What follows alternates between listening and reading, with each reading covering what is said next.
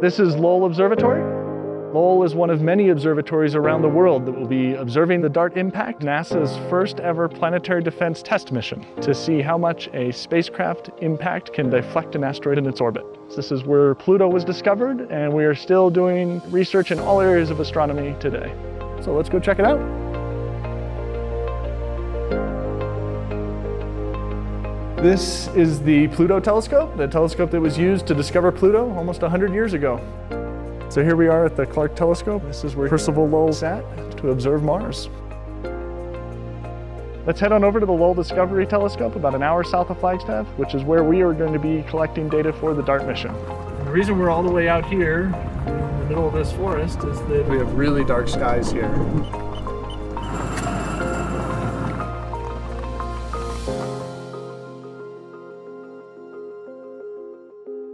And this is the top is a secondary mirror. The secondary mirror up top there is what is focusing the light down onto the instruments and allows us to take images with the camera that's located down at the bottom.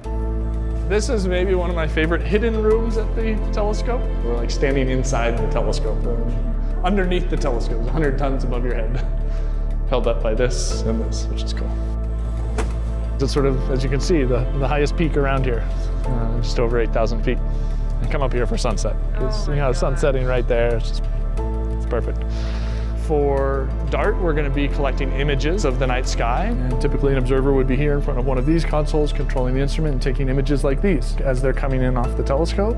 DART is really a sort of before and after experiment. We need to understand the system before the spacecraft intentionally impacts, and then we have to understand what the outcome of that impact event is. As we watch from the Earth, Dimorphos will pass in front of Didymos and behind Didymos. What we will be doing with those images is measuring the brightness of Didymos in those images and looking at how that brightness changes. And those dips in brightness allow us to measure when uh, these eclipses happen and measure the orbit period of Dimorphos. And so you have essentially a fixed star field here.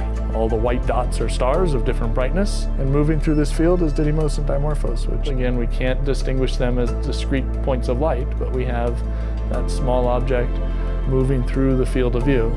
So after impact, we will then be able to go back and start observing intensely, looking for those mutual events, those eclipse events of Dimorphos passing in front of and behind Didymos. And on each one of these frames, we're measuring the brightness to assess whether or not it's undergoing one of these events where Dimorphos is passing in front of or behind, and using those to determine the orbit period of Dimorphos around Didymos.